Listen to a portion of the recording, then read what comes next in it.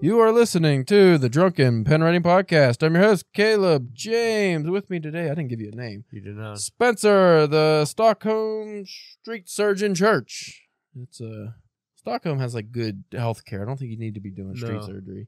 Today, special guest, and it's actually a guest that is working. The technology That's has- supposed to be here. yeah, that's supposed to be here. That was scheduled and everything.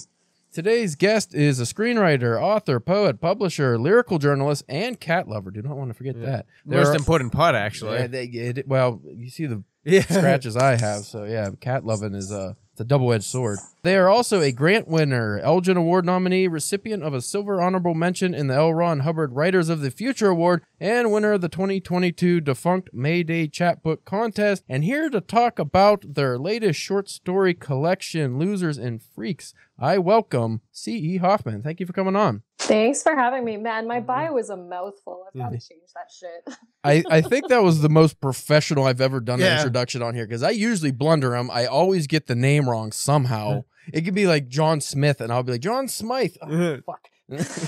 Shit. so you're already, uh, you know, you at least got the introduction down. Didn't ask you any previous questions before we started No. or what you wanted to talk about, but your book is it out yet? Uh, Losers and Freaks. Yeah, I mean, if we're not time traveling too much on the release, it's available for pre order for all of June. And then for the Canadian listeners, however many of those there are, there's mm. going to be an in person book party in Edmonton, Alberta, June 30th. And then that's when the book is officially available. But you can pre order it now, which is pretty sweet. After this podcast, you are going to be hot in Canada because we have 12 listeners from Saskatchewan. Double digits. That is double digits. Not every episode, but they do mm. listen. I get the stats. They can drive right over Edmonton, Mhm. Alberta. They can just pop in for it. Yes, please. Saskatchewaners, come to the book party, please. Yeah, wh- where is the book party for the people who want to come? Do you actually is it a private book party or is it cuz sometimes we get people on here their book party is a big, you know, party at an actual museum or something. They want everyone to come. I mean, I hope it's not going to be too museum like with how many people actually show up. It's mostly going to be probably friends and family, but people are welcome as long as they're nice and got good vibes. It's going to be at the Grindstone Theater. Yeah, that's an important amendment, right? Like a qualifier. You have to be nice, please. Like, don't come and crash the book party. And then just eat all the hors d'oeuvres and be a dickhead. Yeah, you don't want that. Well, you know, exactly. Canada's known for their assholes. So. Oh, yeah. I know, man. We are the the worst pushover dicks ever. So, how did uh, Losers and Freaks come to fruition here? Was this just like you wrote short stories over a certain time period and then just put it together, or was this something that uh, you specifically went into? It was like, oh, this is going to be a collection I'm doing with an overarching theme and stuff. Yeah, I'm very theme oriented in my literary practice for sure. And I think I was kind of piggybacking on Sluts and Whores, my first short story collection, which came out from Thurston Howl Publications back in 2021. So there was an obvious like coherence there, you know, a cogency with that theme. But there's another running theme for me, of course, that I notice in my writings. Like you do have see a lot of sexuality, a lot about trauma, a lot about sex work. But then on this other side, they kind of intertwine too. But you see like a lot of fuck ups, a lot of misfits, a lot of people who are stuck on the outside looking in. And I realized that they really deserved their own collection in that sense. So that's just how I migrated into this new idea of losers and freaks. Honestly, I was hoping Sluts and Whores was going to be successful enough that I could launch into a novel release for my next full length release, but that didn't happen. And and care to elaborate, or is that just one of those things? Eh, didn't happen. Yeah. well, I wrote, I guess it was my sixth or my seventh novel uh, when I was stuck in a super, super expensive college town in southern Ontario for a very, very brief time. And I slammed out a novel in that time, and I was had really, really high hopes for it because it does all my weird dream of consciousness, slice of mm. life shit. But it hasn't been picked up so far, and it lost out on an award I was really, really mm. hoping for. So I was kind of like, okay, it's like time to step back. That said, I had already been pitching Losers and Freaks. Like I'd already kind of gotten the idea that I needed to go mm. another way. But honestly, Querencia Press has been amazing. Like I can't say enough nice things about Emily, the editor in chief. You know, just main person there. She's just incredible. She does everything. She designed the book cover you know, she's been with me every step of the way and she is like so patient. I was the worst. at literally, when we were like ready to like send it to typesetting kind of shit, I would email her and be like,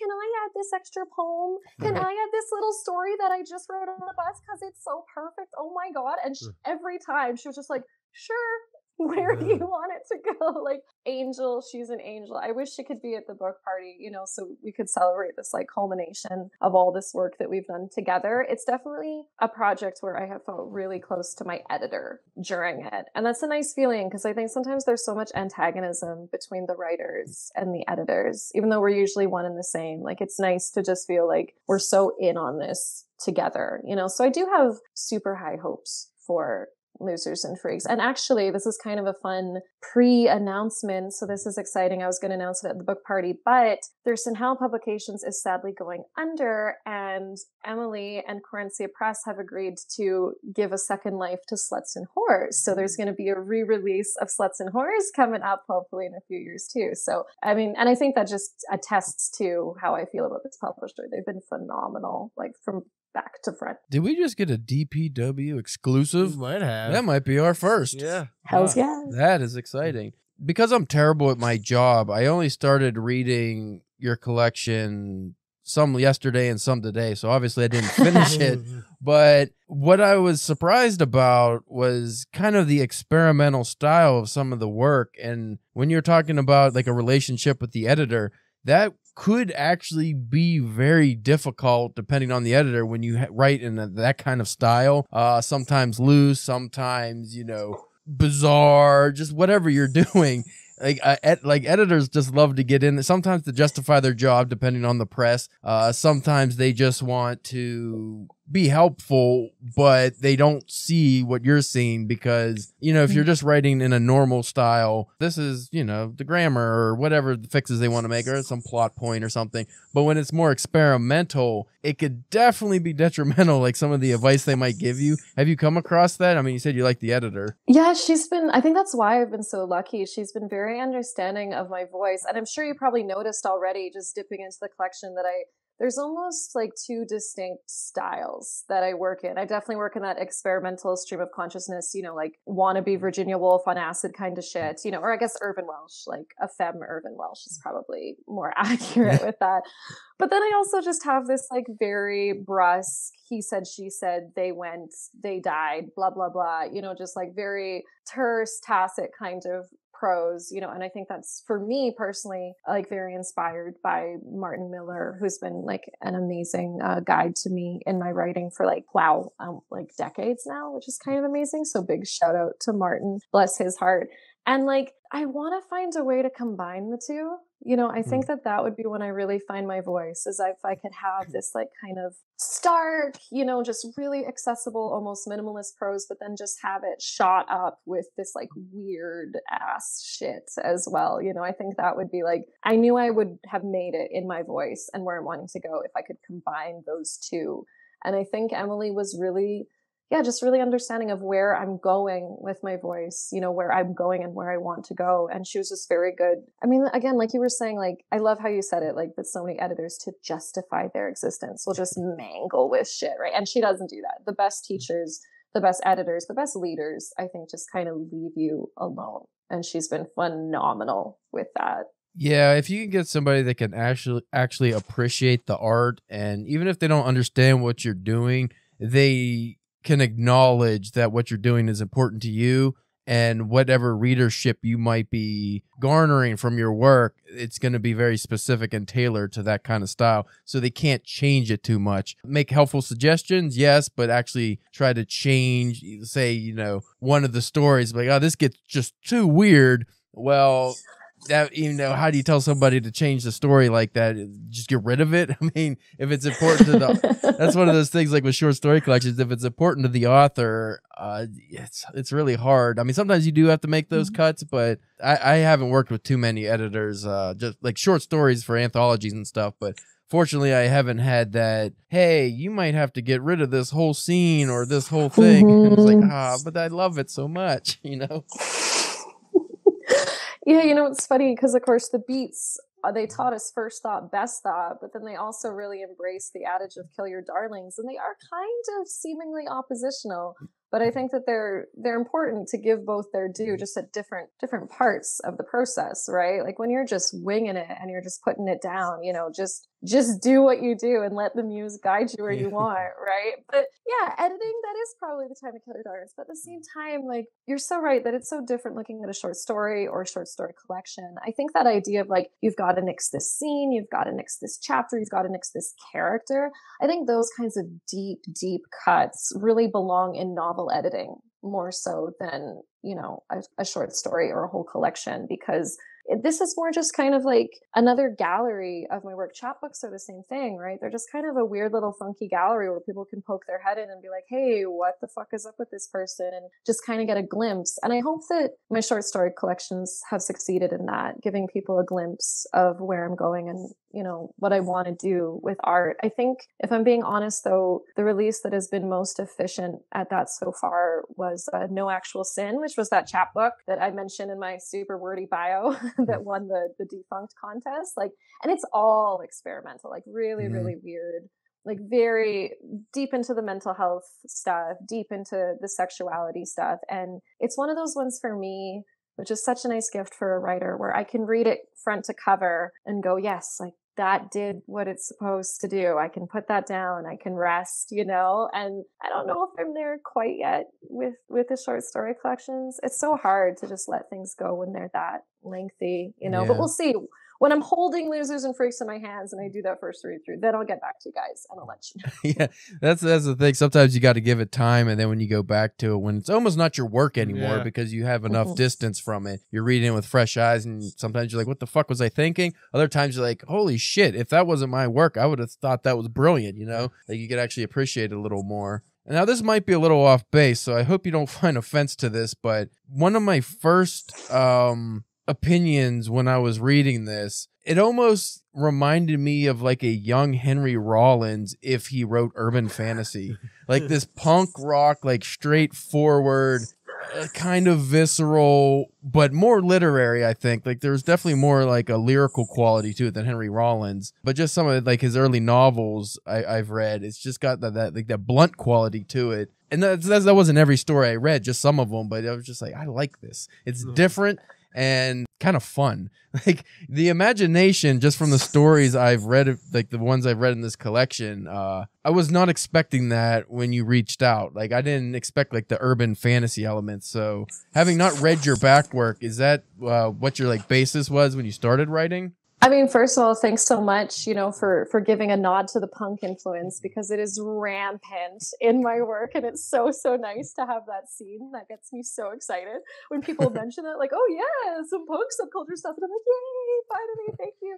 Yeah, I haven't read any of his novels, but now I'm stoked to do so. So thanks for lengthening my TBR. I always appreciate that. And uh, yeah, like the punk voice is definitely there the genre stuff is such a struggle for me. Like when I was first pitching Sluts and Whores and first promoting Sluts and Whores, I really pushed down the fact like, yeah, this is urban fantasy. I was really, really pushing that out there. I was kind of forcing genreification on myself, but then I realized that that left less room for the experimental narrative stuff that we've already mm-hmm. alluded to. And I realized, like, oh, this is kind of iffy. This doesn't really fit. And then again, like, I reasoned looking at Irvine Welsh, you know, who's obviously a foremost inspiration as well and even looking at someone like Michelle Tea, you know, looking at things like that, it's like they do have urban fantasy elements, they have magic realism elements, but people wouldn't necessarily come right out and call Irvine Welsh like an urban mm. fantasy or even a speculative fiction writer, right? Even though there's like stories that he writes where God turns a guy into a fucking fly. Like that's obviously speculative, but when you think Irvine Welsh, you don't think that automatically, right? So I've kind of stepped away from self-identifying as a genre mm. author i think is the best way to put it just to like give myself more space i think to grow as an author. But you're spot on right? That it's it's definitely it has that weird shit it has the mental health content it has the sexuality content it has the major punk emo alt influence but at, at its core they are still a lot of them. Uh, it's either urban or it's fantasy or it's urban mm. fantasy right? It's almost always one or of the three right? And yeah i still don't know like i still appreciate this feedback you know even just from you kind of dipping your toe into the collection, it's always so nice when you get this earnest, you know, judgment. And I say that in a positive way from readers because you start to figure out, like, okay, like that's where you would put me, and that's what I'm going for. So even if I don't have a name for it, I guess it's still making sense to us somehow, Mhm. right? Like, uh, I don't know. It's weird, but it works, I hope. Well, one good thing about stepping away and doing more experimental work earlier in your career versus uh, like when you get more established is that you don't get pigeonholed. So you're not going to get pigeonholed as just an urban fantasy writer if you're you know having collections like this come out that people like that's that's rough because i'm already fighting that a little bit now because for whatever reason i'm not even a horror writer but i keep getting horror shit published and then it's like, oh, I don't want to be known as the horror guy. I don't really write that like my novel I'm working on. It's nothing like that. So if I get people that you know get a following for just my horror work, then it's like, oh shit. Now I'm gonna have to write a bunch of horror stuff to placate these people. It's like I don't want to do that, you know. yeah, exactly the same. Even way, way back, you know, in my burgeoning career, I was mostly getting genre fiction published. Like, this is so embarrassing to admit. But seriously, if you like look way, way back in my CV, like 2010 through 2012, it's all horror and erotica. Mm-hmm. like, super cringe, right? but it is. I, I can't lie, right? And I'm so glad that I didn't like you said, like I'm so glad I wasn't pigeonholed into that and I've been able to go in different directions. And like I think we all need to do that though. I think the industry needs to be more forgiving. You know, this is a journey and this is growth for all of us. This is self-expression, which is a form of growth, right? And we we shouldn't have to brand ourselves, you know, the way we do. I think it's just so like stultifying and stagnating when we're like, "Oh yeah, I just have to be this now," you know? And I think that we need to just let people be, you know, and let the writing be and become whatever it wants. You know, that's the whole point, right? Well, if I had any advice for aspiring writers, unless you specifically want to be known as a genre writer, or you know, even more specific, just a horror writer, just a sci-fi writer, I would suggest making sure when you're submitting to publications you have varied stories. So you know, maybe you dabble in literary fiction, maybe you dabble in hmm. high fantasy. You know, keep your interests varied and keep your writing style varied and then that way you cast a wider net for your audience and then it won't be such a shock when you know the guy who has all these horror stories writes you know a romance or something. Like people won't be too turned off by that because that is one thing. You can alienate your audience if you have a very specific audience. You see that all the time in Mhm. music. You get the he sold out or they sold out or, and it's just like well maybe they just want to try something different you know Exactly. I mean, like, think of new wave after punk, right? It's like they were just like, we're done. We want to do something else. We want to do something new, right? And I'm totally with you. And you can like, you can alienate the readers in reverse if you're saying, like, exact. For example, for me, if I was just like, oh yeah, I write urban fantasy, and then someone who just likes very, you know, prototypical urban fantasy opens up one of my books and goes, "What the fuck is this?" and mm-hmm. drops it, and is like, "Fuck you," you know, because you've betrayed their trust about what to expect. So yeah, it's a, it's a fun ongoing. It is kind of a struggle, but it's also kind of a fun game of like what actually am I? I think for me, it's like how can I condense my writing identity into just a nice little neat phrase, you know, just kind of like my bio too. It's like instead of all of this like gobbledygook, you know, like how can I, you know, reduce this to something where it's just like I'm like this and the closest I've ever heard, even just in a review, uh, this amazing uh, guy who writes for Razorcake fanzine, Justin Bookworm. He does reviews a lot there and other awesome content. And he described my stuff as something like uh, Irvine Welsh at his strangest or like Burroughs at his most lucid. hmm. And I was like, okay, yeah, like that's kind of that's it. The joke I used to make to people is I wanted to somehow be a combination of C.S. Lewis and Irvine Welsh, but that was too much of a mind fuck for most people Right. to contend with. Well, like your story, uh, Stockholm Syndrome, a love story. I, th- I think that's the title. It's pretty much like Beauty and the Beast, but the realistic perspective of uh, Belle being, you know, Stockholm Syndrome. It's like, is she actually there because she wants to be there? She fucking stuck with this monster? it's just like, I, I mean, out of the stories I've read so far, I think that might have been my favorite just because it was fun in a very morbid way. it was it was uh like it shouldn't have been funny but it kind of was but then you also got like the realism of like oh if you were actually in this situation it'd be really fucked up like what do you do you know Oh, thanks. I'm so stoked that you like that one. I was worried that the writing maybe wasn't strong enough, but the story was important to me. Like I always used to joke. I used to call Beauty and the Beast, you know, when I was a cynical, know it all teenager, I called it Stockholm Syndrome, a love story. And that was what kind of gave me the idea. It was like my favorite Disney movie apart from The Lion King. And then I think like how much did this inculcate into me like a romanticization of totally toxic Mhm. unions, right? Because it's like they really change each other and he and she like sets boundaries with him, sure, but he's like has horrible anger issues and like in the real world he would totally have substance abuse issues and like Oh yeah. like when does it right? And this idea of like she runs away and then she comes back. It's like such an obvious like attachment cycle, right? With a, an anxious and an avoidant attacher and all this shit. And like just this idea of like, but is he actually gonna change? You know, how many beasts actually Mm, become the prince in time and even if you think the spell is broken like is it though and just like you said like kind of tampering with that fairy tale fantasy in a way that yeah i hope is still like playful you know and sardonic i'm glad that it still came off kind of fun like that definitely wasn't my voice that I was writing, and there were definitely some of my experiences that colored it. But I wanted to take it into that place. I liked the idea too of kind of making her kind of steeped in these self-destructive tendencies with alcohol, you know, as a way to kind of numb her situation, and that's definitely not something I can relate to. So yeah, I'm glad that it, that it came off. I'm stoked about that. Thank you for that. Well, one of my favorite lines from that story, I actually marked it down because I enjoyed it. I read it, reread it a couple times. I really liked it. And it almost it doesn't completely sum up the story, but it does give you a good feel for it. Sometimes his smile is my lifeline. My body bends before him, a leaf in a dust storm. It's easy to give in at first. Then the consequences pile up, and before you know it, you're Atlas with no way to shrug off the world.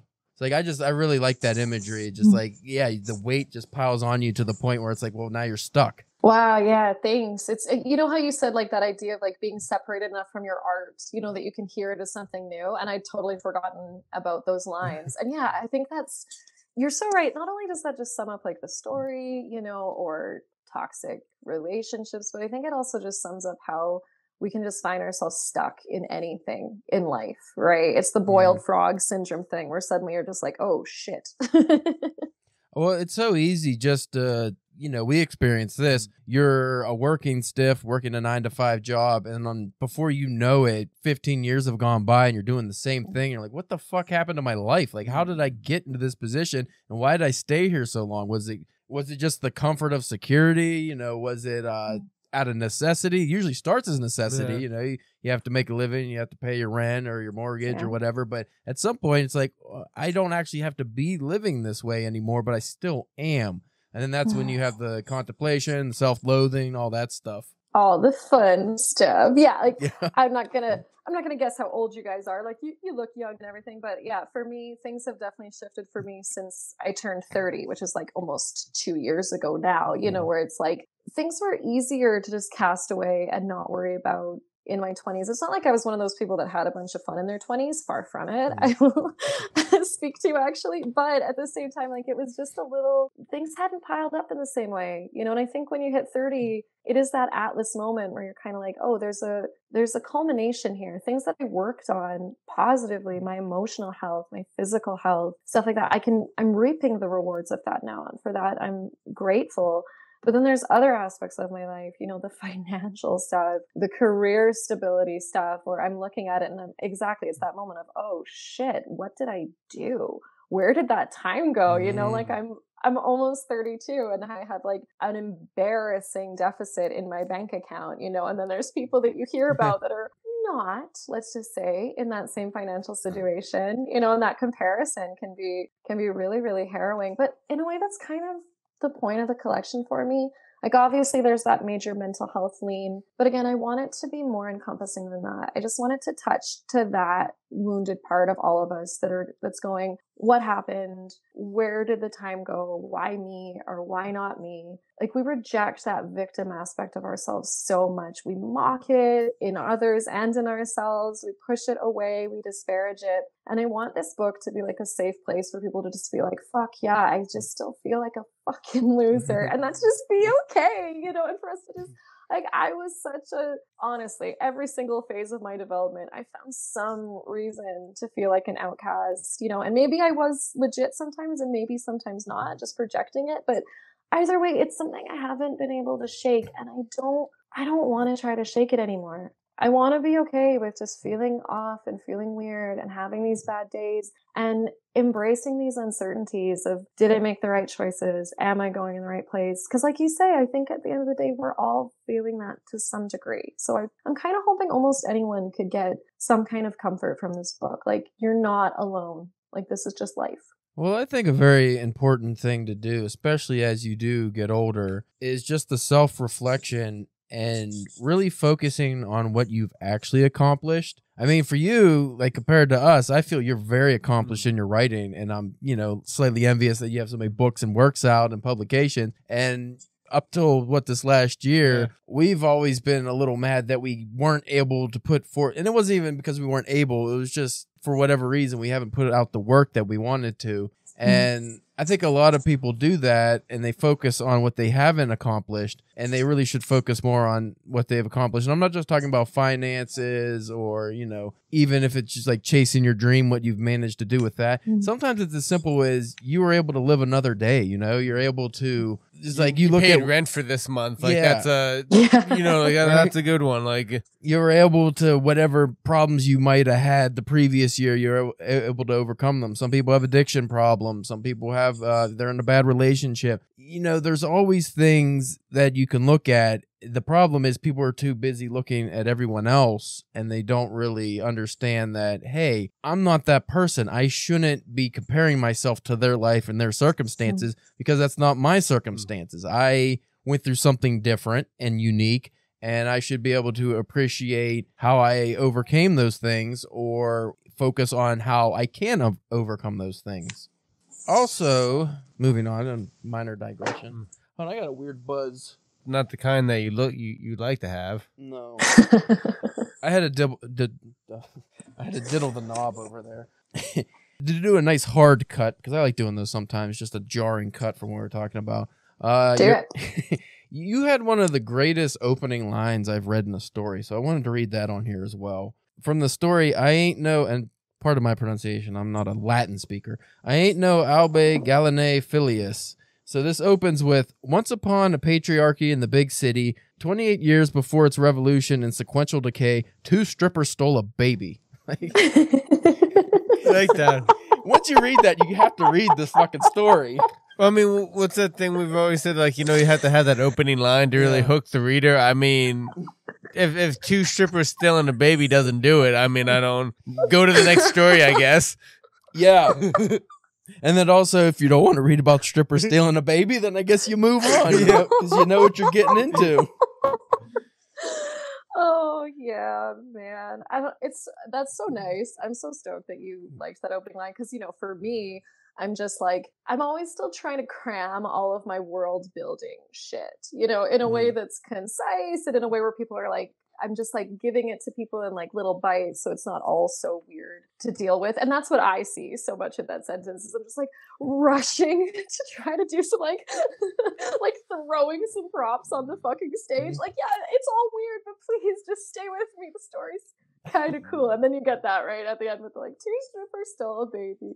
And I, I don't know, that's kind of fun for me too, because even though of course Sluts and Whores, right, focused a lot more on on characters who are sex workers, you know, of various ilks, but I just I don't know. I couldn't. I couldn't help it. I'm like, I've got to get some some awesome stripper superheroes in this collection too.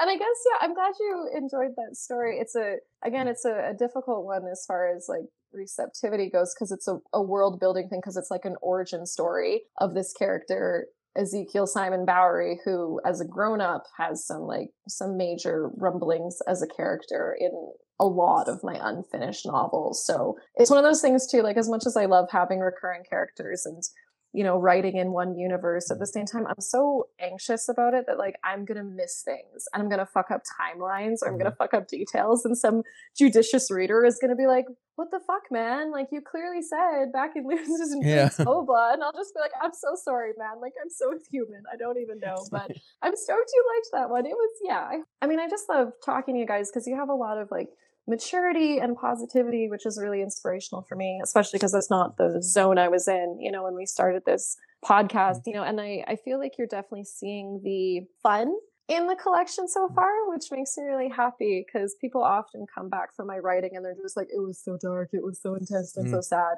And I was kind of like, oh, you know, like I, I don't shy away from the dark, obviously, but I do tr- still try to add like hope and whimsy. And I feel like you're you're digging the whimsy, which is nice to hear. I think it's important to, you know, pull out fun elements of things. I mean, obviously there are works out there where there's no fun to be had. I've read a few things where I'm like, geez, I'm gonna go sleep in my bed for three weeks mm-hmm. after reading this, and then I'm never gonna read that author's work again because it is just too much. But no, I found like again, like I said at the beginning, I haven't read all the stories in this, but I've I read a good chunk earlier too, and um, like the experimental bits I thought were fun. Some of the non stories I thought were interesting too. Like you had the uh, Bullying 101, an excerpt that was uh that's one of the things that kind of reminded me of like the early Henry Rollins books where it's just as far as I know he hasn't written anything like that but I could get that kind of feel because it's just like a guide to bullies you know like what kind like if you're in high school what kind of bullies you would uh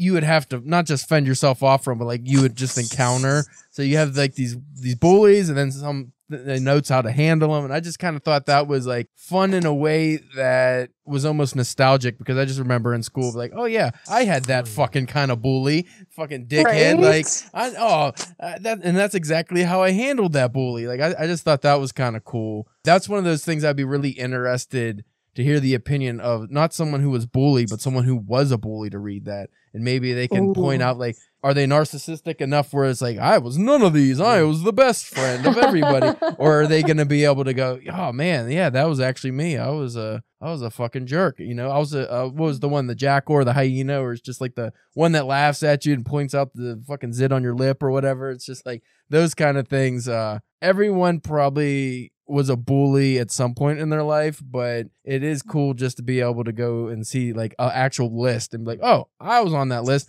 or you know maybe i was just a fake friend like Mm-hmm. I like. I think that's the one you started with was fake friend, where it's like one of the worst bullies there are, but it's probably the one that most people end up being at some point in their life, just because maybe they're friends with somebody they don't quite like, or whatever reason they just think, oh, this is the person I can make fun of behind their back and stuff, and uh, I, I, it does have like an element of uh, again self reflection. When you read that, you might be able to even now go, "Oh, I'm still that kind of person to a degree with my coworkers or something. Maybe I should be Mhm. a kinder, nicer person." Um, so I, I really like the addition of that in there, even though it wasn't actually a story. I thought it was cool just to have like that break up the stories. Well, I'd say that if you wanted to get like really meta, you could do like how Caleb was talking about like a bully reading. You write a story about a bully reading your that part of your thing, and then like what? if you wanted to get super meta with it, Yeah. Maybe it changes their life. Maybe it makes Yeah. them worse. Maybe. Maybe. they double down. Maybe they want to go after the like, author. this is fucking bullshit. And all of a sudden, C.E. Hoffman's getting cyberbullied by somebody that Yeah. was offended by the pointing out that they were a bully in the story.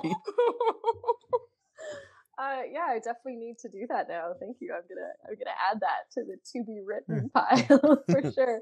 And hey, I'm so stoked that you liked that excerpt. That's from one of my babies, one of my yet unpublished novels. And it, I wrote the first draft in high school. And again, it's so funny, like you say about you know introspection and looking back, where I realized like, yeah, I was really, I was really trying to consolidate my experiences, you know, in a way that was going to be valuable and meaningful for people now. And I, I hope it will be. That's from a book called Observing Love's Decay, and if Ants in January, which was like my sixth or seventh novel that I mentioned already, uh, if that one isn't my debut novel, I'm thinking Observing would be a cool debut. It's full of weird shit like that because it's like the narration is kind of a meta thing where this narrator is able to get like very, very deep inside the main characters' heads, Jackson and Iris. So and the way that she kind of expresses it is usually in like experimental ways like that. So yeah i hope Mm. that people will will like it. I, I wish i had some awesome announcement about observing being picked up but i'm like so shy about it at this point. It's gone through so many rewrites. And back in the day i did pitch it a bit when it honestly wasn't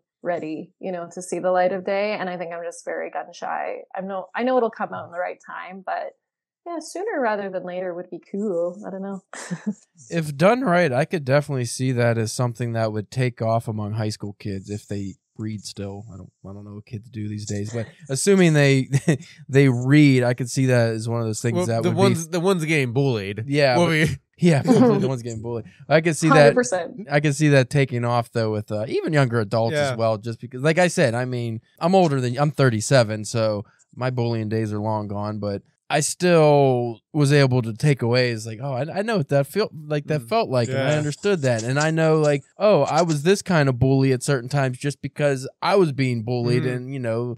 Y- Mhm. You want to fit in, or you you want what usually happens is you want to push the bullying off on someone else because Yeah. you don't want to be bullied. Nobody wants to be fucking bullied. So I, I yeah, I well, just- you I- know, you, you're getting, you know, somebody's bullying you, so you, you know, you're all upset. You take Yeah. that out on somebody else that doesn't Mm. deserve it. You bully, the, you know, it's like a weird, it's a, you know, a cycle. No, it's like the old, you know, the the dad gets yelled at by his boss. He goes goes home, yells at his wife. His wife yells at the kid, and the kid yells at the cat. You know, Yeah. it just it goes Yeah. down. Um, same thing happens with kids in school. One other story I found was interesting. What just because of how fucking weird it was. Because I wasn't. Again, I don't know why, but by that point, I should have been expecting the weirdness. But uh, chasing Bill, I think it was only like three pages or something but it was uh, about a med school mannequin and then there's this guy i guess works at a lab or at the school and he's creating a uh like a, a poison and he and the funny thing is he's not like a guy that was bullied or picked on or anything he's just kind of a run of the mill like us just a dude just some guy not bad looking not super handsome no real I mean, maybe he has faults with his character if he's making poison to kill a bunch of people. I'd imagine he would, but no notable faults like that people outside observers might notice. But then he ends up getting sucked into the med school mannequin. Uh, I also think there was some uh, not an explanation, but a brief part where the mannequin mentions that he was face fucking these mannequins. Mm. so I thought that was uh, I was like, God, this guy is a fucking freak. Mm. He he fits the bill. Never mind. Not that I'm kink shaming anyone who likes to face fuck med school mannequins, but it is a little bizarre. Mm. Oh, and I'm sure it's happened. But the fact that he just gets ends up getting, you know, I don't want to spoil it, but I guess I did. He gets sucked into like the mannequin Spoilers. and he's in there with it. And he's just like, that's that's odd. A, I never read that before. So I like when I come across something that just like I could say 100%. I've never read that before or anything Mm. like that. So that was fun too. Oh, cheers. Yeah. It was it is one of the ones I admit that I'm proud of. I got the idea uh waiting at Grant Mac, which is like a like a trade slash medical kind of college here, and they offer discounted acupuncture and things like that. So I was waiting for either acupuncture or massage. And there was this med school mannequin that had kind of been left around a little bit. So I was kind of noticing it. And then, yeah, I thought, you know, for plays on perspective and narrative, how weird it would be to write a story as a med school mannequin, right? Where like you have this consciousness, but you Mm. don't really have anything else. And then that idea where it's like, the med mannequin can't do anything. He knows that the guy's going to release this virus, but he has this useless body, right? It does nothing. He only has his consciousness. And I kind of wanted to play up the idea that, like, he reveals it at the end. We already did the spoilers, so we can just talk mm-hmm. about it, which is kind of fun. We're like, he was just planning on like switching bodies with him, right? He was just planning on being like, okay, I get Chase's body, and then Chase will be stuck in this shit med school mannequin thing. Then I can go and be Chase and be a decent person, but he fucks it up. So they're both Yeah. stuck in the med school mannequin body. And again, like it's it's one of those fun ones where for me it's kind of like playful body Mhm. horror or something where like some people might read it and be like, oh, that's so disturbing. But again, like for, you know, guys like you who are like more open minded, you're just kind of mm. like, this is cool, this is weird, this is and it's kind of funny because Bill's like a nice guy, right? Yeah. The med school mm. mannequin, right? He's just kind of like, my name's Bill, you know, hi. Like he's kind of just like a basic, you know, kind of personality. So there's not something it's not really sinister. Like I think Bill's actually kind of a hero, you know, and Chase is obviously a villain, and, and Chase gets his. So I'm like, I don't feel sympathy for Chase. Mm. Like fuck that guy. Like, Well, I'm going to paraphrase, but I'm pretty sure Bill has a line along the lines of, uh,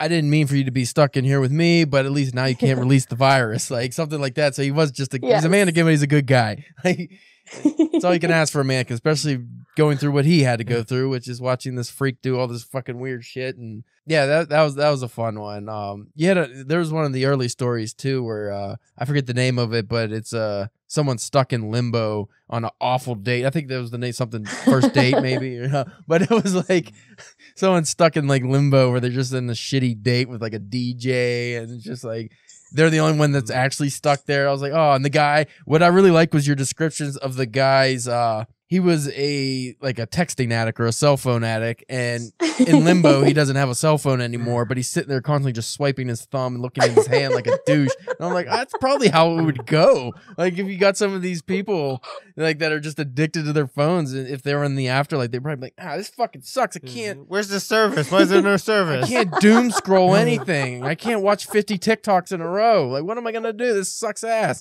Like, I thought that was funny. Oh yeah, thank you. I got to admit that that was definitely my little, uh, you know, I guess it's kind of punch. I don't know. Is that punching up? Is it punching down? I don't know. But it was definitely my, you know, my mean, my mean commentary towards how I feel about people when I see them zombieing out inside their phones. Like I just, because that's how I think of it. Is like you're not like you're just staring at your hand, Yeah. like it's flat. You know, like it's and that, that story is fun too for me because again, it's a recurring character that. Uh, the narrator is V, who again is like a recurring character in some unfinished novels, some just unpublished novels. And of course, there's another story featuring her later on, which is pretty cool. But yeah, like that's another fun thing, I guess, to mention. Obviously, a lot of my stories are in the big city. Some are in what I call the biggest city, which is a more like sinister, futuristic Mm. uh, metropolis. But then, yeah, there's a lot of stories in Limbo, much more than Heaven or Hell. I think Limbo resonates with me a lot.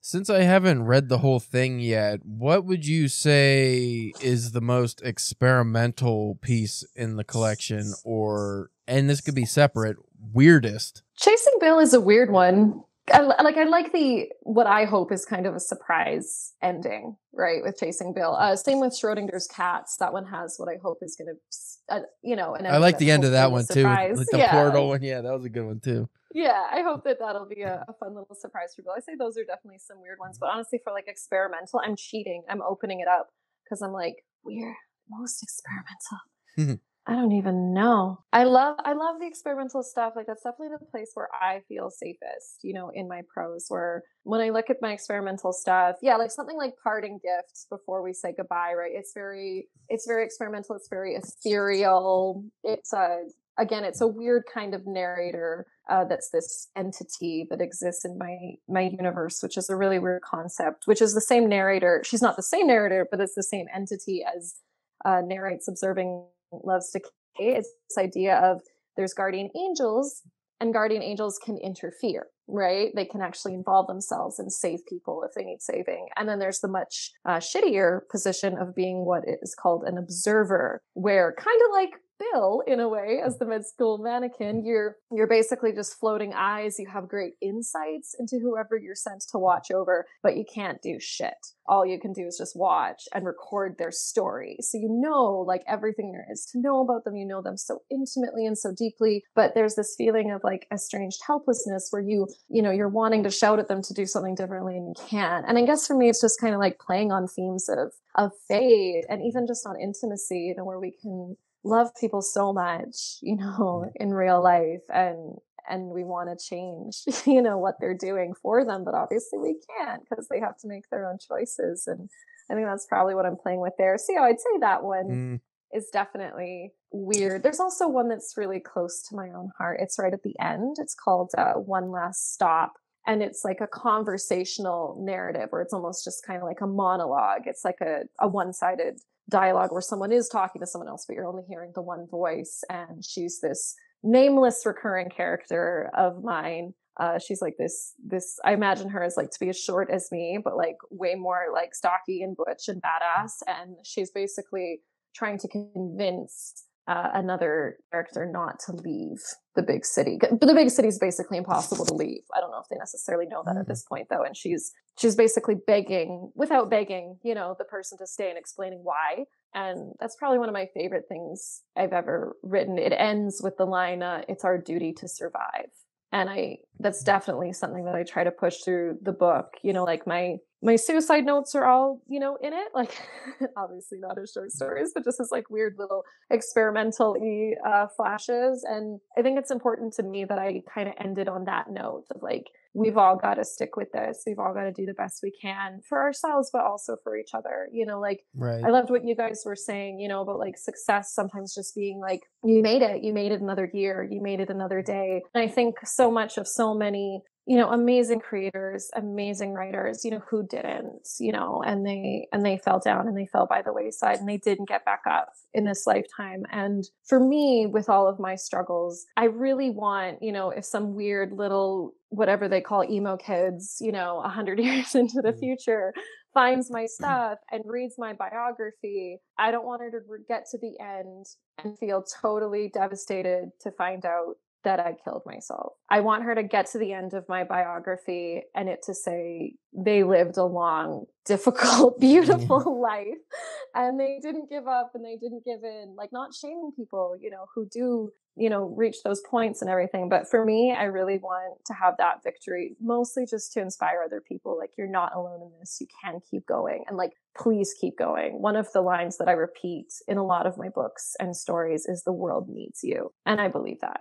I believe that we all have something really, really awesome to offer. And if my writing can just inspire a few more people to stick around, I think I would definitely consider my whole life a success. That'd be a major win, actually. I felt the inclusion of those notes was one, it kind of gave you a genuine look into you, you know, you as an author. And it also I mean, especially like the last note, it, it, did have touches of hope into it that I think are important, and it it was just authentic. Like it, it kind of peels back, like, oh, this isn't just a short story collection with fantastical elements and experimental fiction. It's it's also like this is a real person writing this with real emotions and real feelings, and it does give you, you know, the, like a, a basis of realism. Like it sets you and grounds you a little bit Whereas if you didn't have those, if they weren't included, I think the I wouldn't say the collection would be worse off or better off. I just think it would be more fantastical, maybe.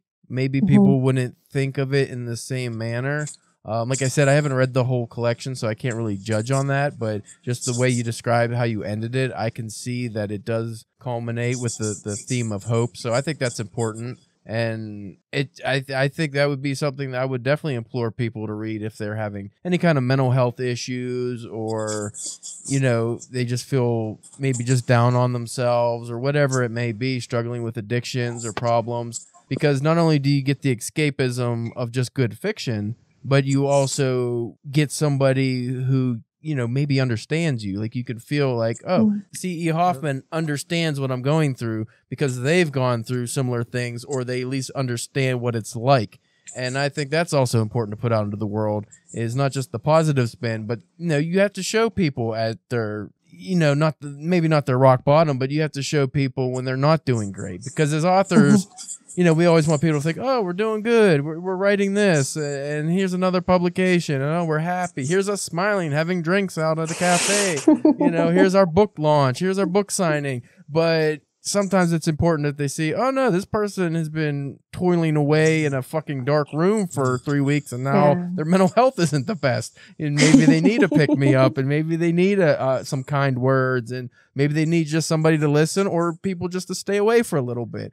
Um, mm-hmm. I think all, th- those are all very valuable. So I think the inclusion of those notes is important, and I'm glad you put those in there. Oh, thanks. Because I really hesitated about it. I'm very private. It's so funny to say that, you know, and so many of my stories are inspired by my own experiences, but I'm also very private, you know, even like things like, you know, my sexuality and gender identity and, you know, all of this kind of stuff. Like I'm, I'm not the kind of person that's like, I want to trumpet this or want to self-identify in a submission and stuff like that. And I, I think the main reason, apart from just being genuinely private, is I'm honestly concerned, you know, that reception will be cynical, you know, know, that people will be like, like, oh, look at you, you know, you're self-aggrandizing, being like, poor, poor me, feel so bad, you know, and and I I really don't want that, and it, I really appreciate that you gleaned the genuineness from it because it was just a genuinely vulnerable moment for me where I'm like, I haven't I, you know, it hasn't been an easy time getting here, and it's still still a real struggle. You know, on and off. My coping mechanisms are lit now. You know, and if anyone ever wants to email me and talk coping mechanisms, I'm always there because it's a long road that's gotten me to the point where I have this fantastic arsenal. But that doesn't change, you know, what I experience on a mental level and on an internal level, and just wanting to be more honest about that. I think especially because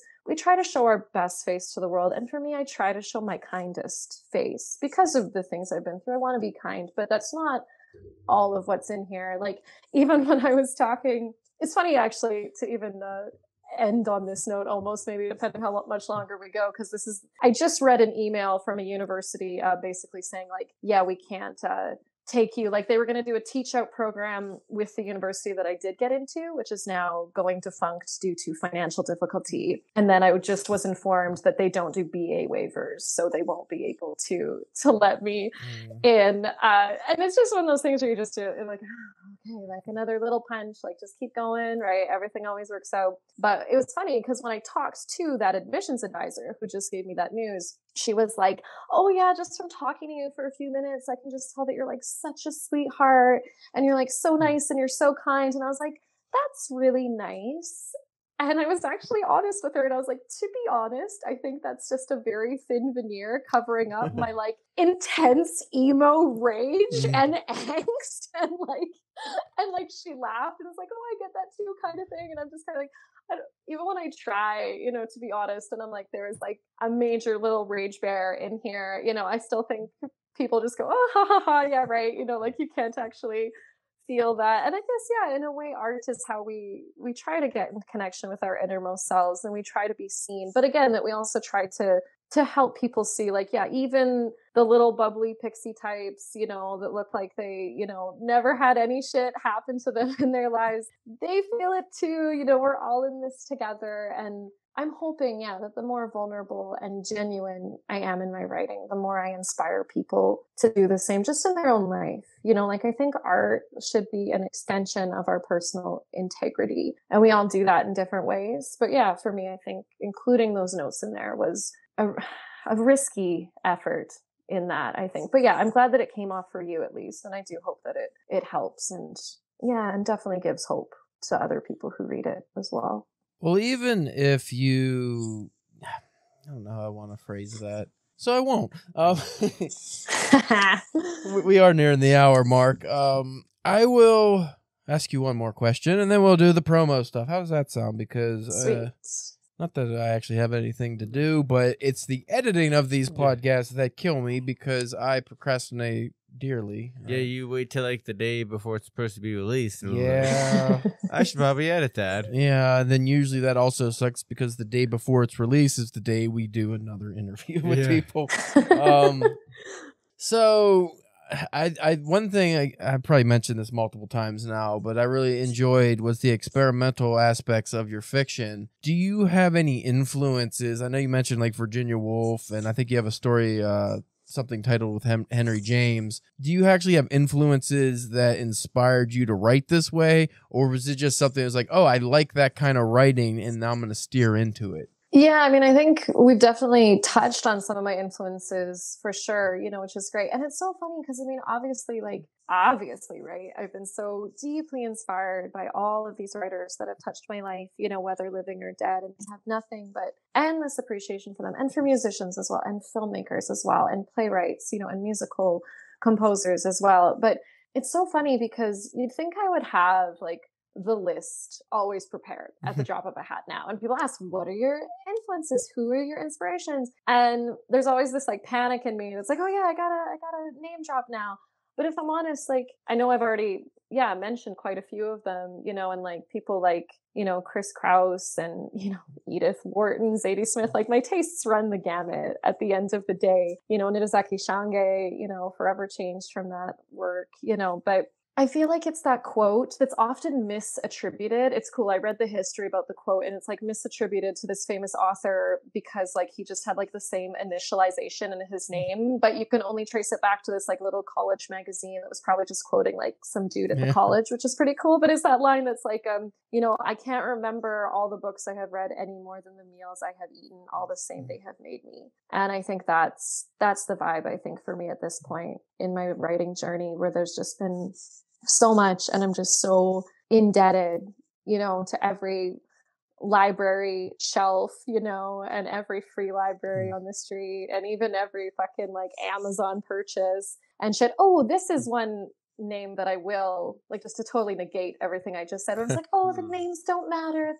No, but this name matters. I have to say, uh, Dawn Powell is this really new um, inspiration for me. I read Dance Night and it's cool because she was kind of more known commercially as like a satirist and like a comedian, mm. you know, and things like that, and wrote a lot of satire and stuff. And as far as I know, this is probably her one truly what I would call like an earnest novel. And apparently it was her personal favorite. And yeah, Dance Night by Dawn Powell. It like, it was one of those books that made living be okay again. And there's nothing better than a book like that. A book that you can literally love because it made you feel hope and life again, you know? Oh, and for sure.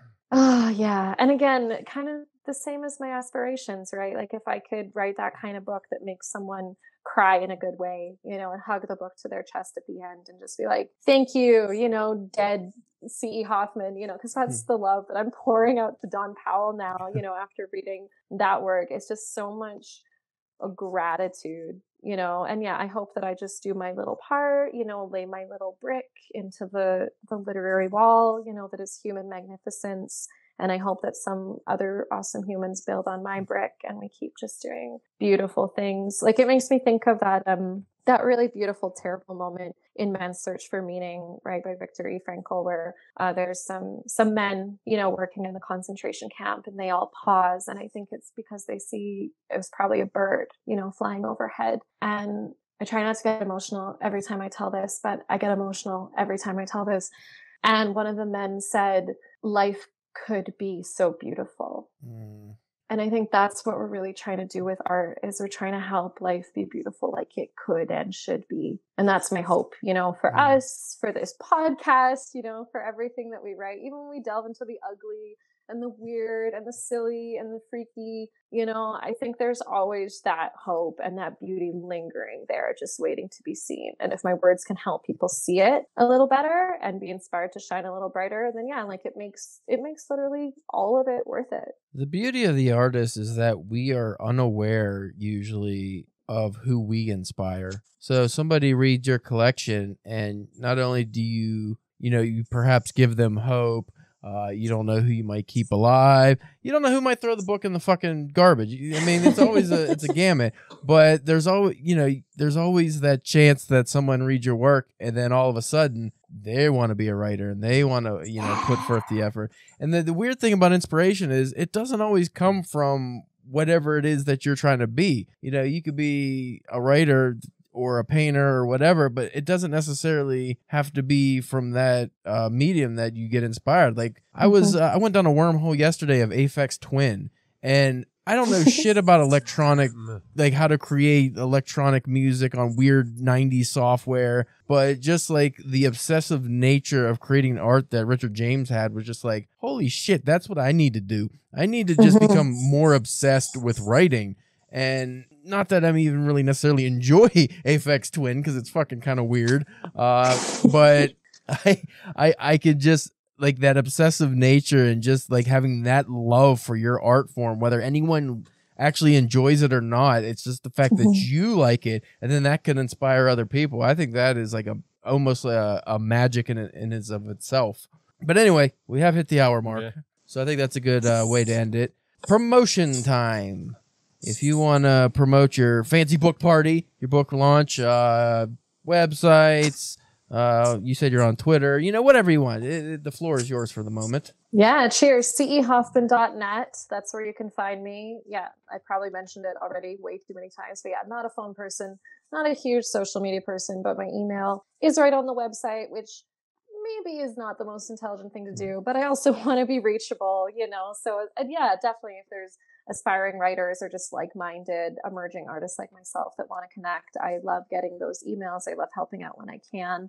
I love connecting and collabing. Yeah, plug it one more time. June 30th, Edmonton, Alberta, the Grindstone Theater, free entry.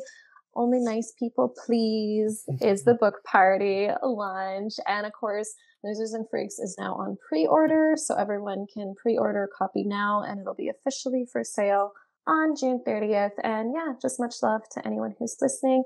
I appreciate you and the world needs you.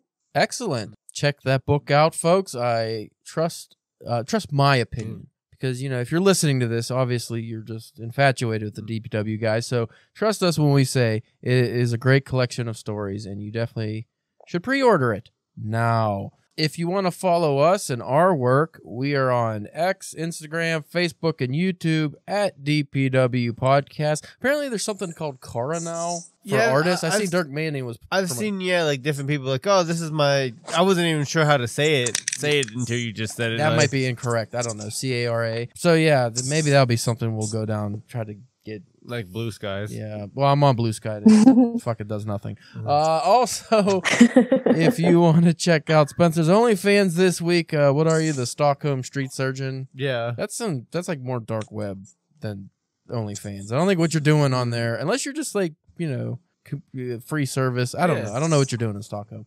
Uh, also, you could check out my publication history and the writing that I always forget to post on my website at calebjamesk.com. That was uh, another fun episode Yeah. in the book. CE, thank you for coming on. It was a, a lot of fun. I really enjoyed that. Sometimes these are, I don't want to say a chore, but they're more difficult than what this was. This was a lot of Well, fun. and nice that it actually worked. too. And that it worked was a bonus too. yeah, thanks so much, guys. Ditto. It was awesome.